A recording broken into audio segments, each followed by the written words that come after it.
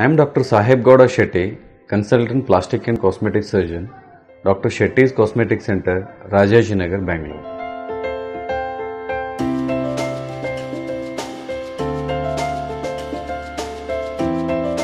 We can change the shape of the lip based on our requirement. We can increase the volume of the shape with fat injection or temporary fillers.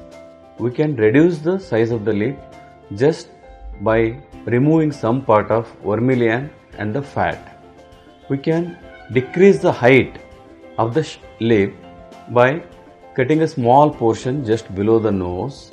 If the there is too much of gum visibility, we can pull down the lip a bit and decrease the gummy smile. If a person wants prominent tubercle, upper lip tubercle, we can inject filler or else with surgery only we can modify the lip in a such a fashion that the person gets the tubercle in the upper lip.